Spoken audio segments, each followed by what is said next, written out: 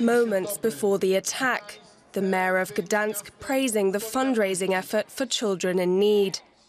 As Pavel Adamowicz looked out at thousands of people, a man lunged at him with a knife.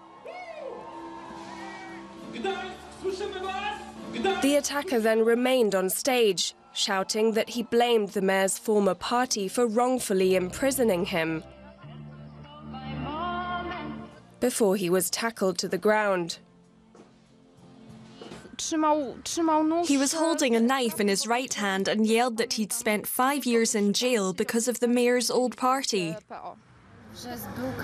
He said his name, that he'd been in prison and was tortured. We don't know how he managed to get on the stage. Police have arrested the suspect, who they said was a 27 year old with a record of violent crime. Our priority is finding out how the perpetrator could get so close to the mayor. We know he used a pass that said press on it.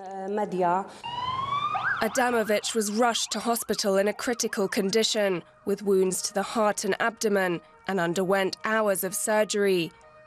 Poland has been left in shock by the attack on this popular politician.